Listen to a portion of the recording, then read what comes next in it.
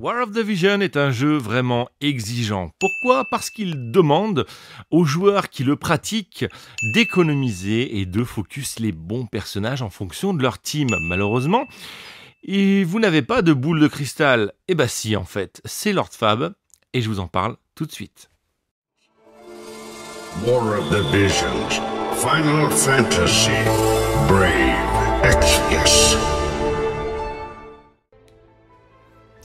Yo les gens, c'est Lord Fab. Alors après cette petite intro, je voulais simplement vous dire que il y a des personnages de dingue qui arrivent sur le jeu. Malheureusement, en fonction de votre équipe, il va falloir focus et choisir. Vous pouvez pas faire comme certains, dédicace à certains de ma guilde que j'adore et que j'embrasse très fort. Cependant, effectivement, avoir tous les personnages, ça ne sert à rien.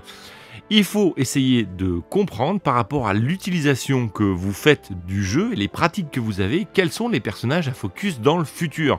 Pour ça, c'est simple, il faut vous demander est-ce que vous préférez faire du PVP manuel, c'est-à-dire des combats en duel pour faire des futurs ranked Est-ce que vous préférez faire de la GVG en automatique, guild versus guild, ou alors est-ce que vous préférez faire simplement du PVE, euh, la tower, machin, etc.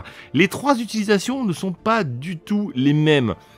Dans cette vidéo, je vais vous présenter trois personnages qui arrivent, qui sont des kings de PVP. Et donc forcément, que ça soit en manuel ou en euh, GVG, ils sont absolument géniaux.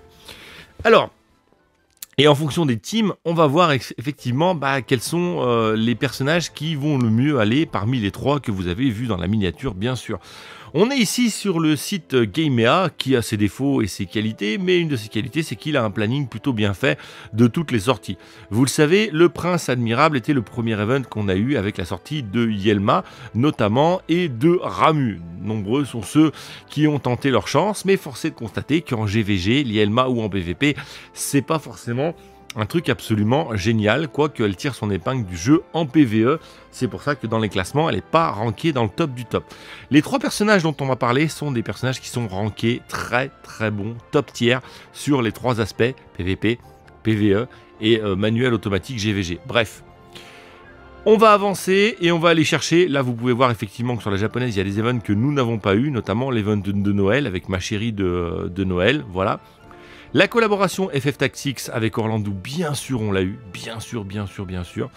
La collab, enfin la collab, euh, la sortie de Keaton avec Odin et ensuite, euh, j'allais dire Chatoun, non c'est Chuchote, pardon. ensuite, euh, Miranda, etc. Donc c'est plutôt intéressant. Et récemment, la sortie de Lucia avec Tetra Sylphide. Voilà. Valentine, ok. Et récemment, on a eu notre chère amie Victoria, euh, qui était plutôt intéressante et assez solide. Maintenant, vous êtes sûrement dans une situation où vous avez soit une team magique, soit une team euh, physique à gunner, soit une team physique slash attaque, soit une team de ninja. Enfin bon bref, vous avez plein de possibilités. Voici les trois personnages qui vont incessamment sortir sous peu et qui seront les killers de méta PVP, GVG, PVE. Le premier personnage dont je vais vous parler, c'est ici, j'ai nommé la spéciale Vinera de Fen. Vinera est un ninja. Euh, clairement, vous le voyez, plutôt sympatoche, ma foi, le design. Euh, de type UR, mais surtout, enfin c'est un assassin en fait, euh, de type UR, mais surtout elle est de, je vais y arriver, ténèbres, de type ténèbres. Dans ses particularités, elle est excessivement forte en niveau des mouvements. Elle a du slash attack, pas mal, on va le voir. Mais surtout, elle bouge beaucoup. On fera la review hein, euh, plus tard de elle. Euh, concrètement, elle bouge énormément. Elle a une mobilité qui est juste dingue et une évasion qui est juste dingue. Pour vous donner un ordre d'idée, vous regardez ici ses statistiques de mobilité 4 de base, 2 de jump et en plus de ça, comme si ça suffisait pas, euh, elle peut augmenter son, mouvement euh, dans une de ses subs, donc c'est la folie. Vous verrez aussi qu'elle a la possibilité euh, d'augmenter son évasion et de devenir aussi un, comment s'appelle un un, assassin euh, voilà, qui évade beaucoup. Et donc dans la méta evade, si vous avez une team evade, ça ira très très bien. Elle va aller super bien de pair avec un Orlando, notamment par exemple. Vous voyez là ici par exemple move plus 1. Bref, autant vous dire que si vous avez actuellement une team avec une Keaton ou alors une team avec un Orlando euh, et un Engelbert par exemple en tank, ça sera absolument génial parce que euh, vous avez une team très très très solide qui fait mal. D'ailleurs, vous pouvez même euh, honnêtement la jouer dans plein d'horizons. C'est un personnage qui est excellent sur la japonaise. Il fait encore partie des très très gros personnages. Bref, je vous recommande Vinera si vous êtes sur des teams évasion. Vraiment, c'est ce qu'il vous faut si vous avez farmé le chapeau, etc. etc. Vraiment très très fort. Est-ce que moi, j'irai pool une Vinera Non, j'ai une, team double gunner aujourd'hui. Vinera n'est pas euh, le personnage dans lequel je pourrais investir. Pourquoi? Parce que mes cartes et mes chimères ne correspondent pas à son utilisation. Clairement. Si j'avais une team magique avec un Rain à l'intérieur et une Ayaka, personnellement, paf, je n'irais pas non plus la chercher parce qu'elle ne s'intègre pas correctement dans cette équipe. Je vous l'ai dit et répété, choisissez vos personnages, certes en fonction de leur classement, mais aussi en fonction de l'intégration dans votre équipe, en fonction des cartes que vous avez maxées et des chimères que vous avez maxées. Hormis si vous êtes un kraken, c'est pas la peine de vous dire je vais chercher ci ou je vais chercher ça pour maxer la carte exprès pour elle, puisque vous n'aurez pas assez de ressources et le temps que vous fassiez ça, il se sera passé deux mois et il y aura déjà un nouveau perso, ça serait dommage. Deuxième perso, alors vous l'avez vu, on a eu la collab Mobius, euh, voilà, euh, alors qui a eu lieu à FFBE aussi, voilà, euh, donc euh, nous on a une unité globale exclusive qui était Frevia euh, en plus, donc c'était top. Mais ce qu'on peut dire, c'est qu'effectivement, je pense que Vinera arrivera d'ici deux semaines à peu près. Je peux me tromper, mais je pense qu'effectivement, deux semaines, Vinera, ça me semble pas mal. Ensuite, les amis, deux semaines ou une semaine, je sais pas. Ensuite, deux semaines après Vinera, on devrait choper j'ai nommé notre ami Warrior of Light de Final Fantasy 1, le guerrier de la lumière. Guerrier de la lumière est un tank exceptionnel qui sera le remplaçant de notre ami Engelbert pour le tanking physique vraiment top. Attention, c'est une unité limitée. Une limite burst de dingue qui fera hyper mal à très grande distance. Donc ça, c'est vraiment top. Utilisable très très vite. Euh, Warrior of Light est de type lumière slash attaque. À grosse différence avec notre ami Engelbert plus d'agilité, plus de mouvement aussi. Alors pas en termes de mouvement, mais en termes de, de skill. Il y a des skills qui vont lui permettre de se déplacer. Euh, énormément de défense, etc. Pourra aussi tanker un peu plus le magique que Engelbert parce que moins faible de base. Bref, honnêtement, un excellent personnage. Euh, et franchement, bah, vous le verrez, il a une énorme particularité, ce personnage, c'est qu'à la différence d'Engelbert, il sera capable de garder l'agro plusieurs fois. En fait, vous le voyez ici, Brave Presence, Increased chance of being targeted and raise our uh, own defense spirit for 3 turns, stackable up to 3 times. So, ça veut dire qu'en fait, il va pouvoir euh, augmenter ses chances d'être target. Je crois que c'est 12 le chiffre, c'est énorme, 12, ça va lui permettre de faire 3 ou 4 fois, mais ça se stack, donc il peut monter jusqu'à 36 d'aggro, ce qui est énorme.